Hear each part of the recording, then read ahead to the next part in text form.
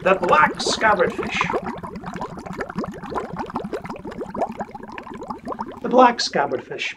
Sounds like where you might keep your swordfish when it's not in use. This fugly fish lives in the deep sea where it's dark and nobody can see how disgusting it is.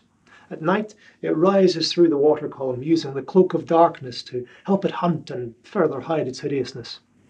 Why the long face? Overfishing. It's quite sad.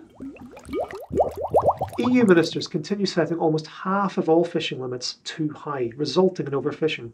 61% of fish stocks are below biologically safe limits.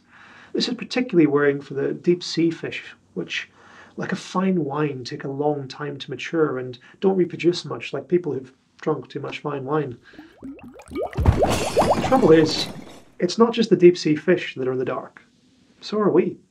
A lack of transparency over who decides what and how means that no one is left accountable. Year after year, ministers set fishing limits above scientifically advised levels.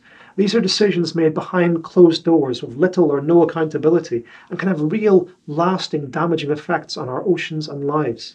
This must change. The deep seas and the fish that live within them need our protection.